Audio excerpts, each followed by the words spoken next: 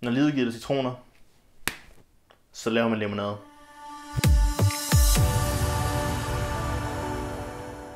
Hvad så derude? Jeg hedder Simon, og i dag skal jeg lave Lemons for Leukemia-udfordringen, hvor man skal lave limonade på en kreativ måde. Men først, her er lidt om hvorfor. Udfordringen startede, da 19-årige Chris fik denne triste nyhed. Unfortunately, a few months ago, my doctors told me some bad news. I was re-diagnosed with chronic myeloid leukemia. This time it's medication resistant, and I have a timer. Chris og hans bedste ven er nu ved at lave deres bucket list sammen, som de viser på YouTube. Det var også her, hvor Lemons for Leukemia-udfordringen startede for at skabe opmærksomhed omkring knoglemavsdonationer, også kaldet stamcelledonationer. Hvis man tilmelder sig og bliver et match med en, så skal man bruge 4-5 timer af sit liv, og så kan man faktisk redde en anden persons liv. Jeg har link i beskrivelsen, hvor I kan læse mere om det og eventuelt tilmelde jer som donor. Ja, lad os komme i gang. Jeg vil i min video øh, følge Chris' fodspor og tage min au natural. When life gives me lemons, I power through it. I power through life. You just gotta bite right in.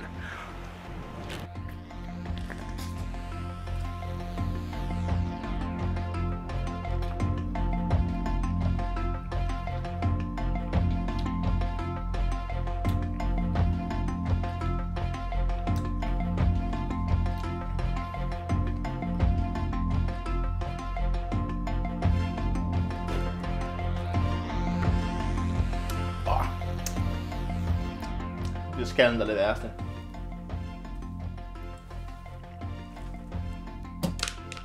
Ah.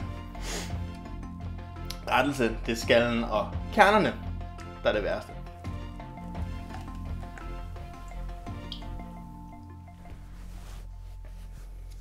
Forfriskende.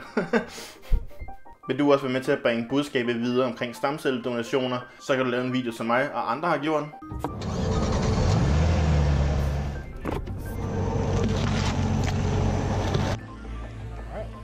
Ja.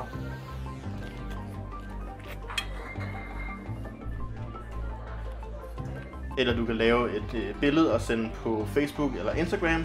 Bare lave limonade på en kreativ, sjov måde, eller hvad du har lyst til.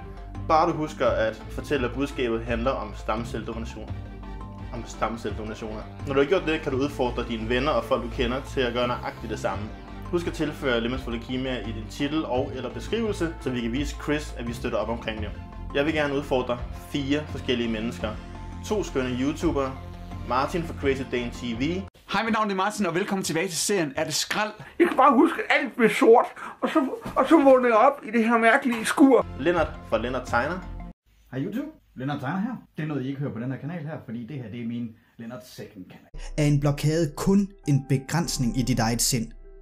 Og da jeg godt kan lide at tænke stort, vil jeg gerne udfordre det dejlige menneske og komikeren Sebastian Dorset Jeg har lovet at udfordre dig til at passe lidt bedre på vores øh, klode. og Simon Jul.